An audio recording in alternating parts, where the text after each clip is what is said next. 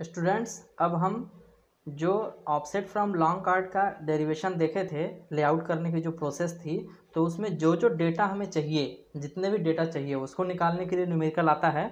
तो चलिए हम देखते हैं पहले। हमारे पास एक क्वेश्चन है, जिसमें दिया हुआ है क्या? रेडियस ऑफ़ कर्व दिया हुआ है। पेग इंटरवल दे दिया है, दस मीटर। यदि नहीं देता तो हम अपने से पाँच मीटर, दस मीटर, पंद्रह मीटर, ठीक है?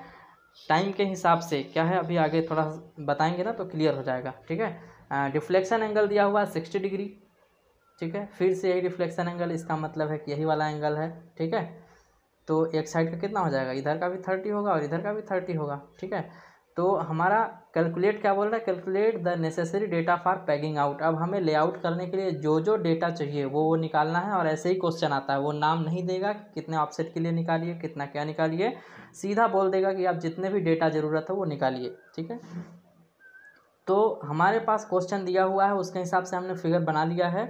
अब हमारे पास ये एक tangent T one T two ये है ठीक है point of curve point of tangency जो भी है ठीक हमारे पास ये ओ है और हमारा जो ओ ज़ीरो है मिड ऑर्डिनेट यही होता है ठीक है हम इसके पहले भी देख चुके हैं कि मिड ऑर्डिनेट हमारा ये ओ ज़ीरो होगा। तो सबसे पहले हमने एक, एक अपना जो पिछले वीडियो में हमने क्या बनाया था एक रिलेशन डिराइव किया था उसका क्या आया था फार्मूला सामने O zero equal to sorry O X equal to O zero minus X square upon two R ठीक है? ये हमें रिलेशन हमें मिला था। तो हमें सबसे पहले क्या निकालना है? ये ओ ज़ीरो निकालना है। ठीक है? ओ ज़ीरो कैसे निकलेगा? चलिए ओ ज़ीरो क्या है हमारा? मिड ऑर्डिनेट है। यहाँ पर हम दिखा चुके हैं। तो मिड ऑर्डिनेट निकालने का हम फार्मूला पहले देखे थे। मिड ऑर्डिनेट ओ ज़ीरो निकालने का क्या फार्मूला था? R one minus cos delta by two तो यहाँ पर ये वैल्यू रखेंगे तो आएगा कितना? Thirteen point four zero metre ठीक है, ये हमारी ये ओ ज़ीरो की वैल्यू है। इसके बाद हर दस मीटर पे हमें निकालना है। कहने का मतलब ये है कि हम यहाँ से सेंटर से जो है दस मीटर इधर जाएँगे लेफ़्ट साइड में या तो फिर राइट साइड में। ठीक है, दस मीटर हम लेफ़्ट साइड में जाएँगे तो हमें ये वाली डिस्टेंस कितनी मिलेगी? ओ टेन की वैल्यू जिसे हम बोल रहे हैं। ठीक है यह दिख रहा होगा आपको, ध्यान से देखेंगे तो ओ टेन लिखा हुआ है। ठीक है पेंसिल से लिखा है। या फिर यहाँ भी हमने ओ टेन लिखा हुआ है, ठीक? तो जो है हमारा कहने का मतलब ये है कि यहाँ पर जब हम लेआउट करेंगे, ठीक है ओ ज़ीरो हमें मालूम है, हर दस मीटर पे हम इधर की जो, जाएँगे या तो फिर इधर की ओर जाएँगे, ठीक है?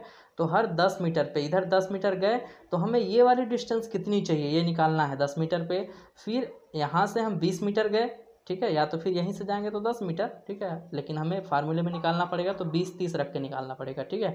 तो हम यहाँ से बीस मीटर आगे जाएँगे, यहाँ से बीस मीटर आगे जाएँगे तो हमें फिर ये कर्व लेआउट करने के लिए हमें ये वाली डिस्टेंस कितनी चाहिए, जिसको हम नाम क्या दिए हैं, वो ट्वेंटी ठीक है। दिख रहा है? ये पहले आपको समझना बहुत ज़रूरी है, ठीक है।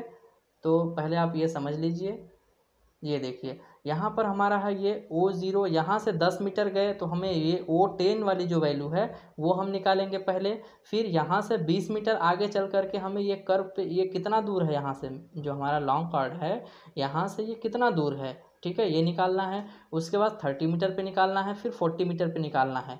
फिर फिफ्टी पे नहीं निकालेंगे, क्यों नहीं निकालेंगे?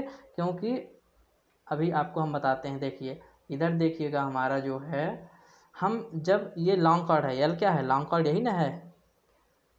ठीक है? तो ये लॉन्ग कार्ड की वैल्यू हम जब निकाल रहे हैं, ठीक है? ये वाली टी वन और टी टू की वैल्यू निकाल रहे हैं तो वैल्यू कितनी आ रही है? देखिए two R sine delta by two होता है तो एल की वैल्यू आ रही है हंड्रेड हम यहाँ से स्टार्ट करेंगे तो टोटल हंड्रेड है, यही ना हुआ लॉन्ग कार्ड का मतलब? तो हम यहाँ से पचास मीटर तक इधर जाएँगे तो हमारा यहाँ पर क्या है? पचास मीटर इधर जाएँगे तो हमें तो यही टी ही ना मिल जा रहा है। यहाँ से जो हमारा डिस्टेंस है टोटल टी वन से टी टू क्या है? हंड्रेड है। हम सेंटर से स्टार्ट कर रहे हैं तो पचास इधर जाना पड़ेगा और पचास इधर जाना पड़ेगा। तो हम इधर आगे चल करके पचास मीटर के लिए क्यों निकालेंगे? दस, बीस, तीस, चालीस निकालेंगे और पचास पर तो हमारा टी वन पहले से ही है। ठीक है? तो चलिए, अब हम अपने कैलकुलेशन की तरफ़ आते हैं। तो अब यहाँ पर देखिए, हमने मीड ऑर्डिनेट की वैल्यू निकालना है, इस फार्मूले से निकालेंगे तो हमारा आएगा थर्टीन पॉइंट फोर ज़ीरो जिसकी हम बात कर चुके हैं अभी, ठीक है? इसके बाद जो है, हमें ओ टेन निकालना है, ठीक है? अब क्या है हमारा?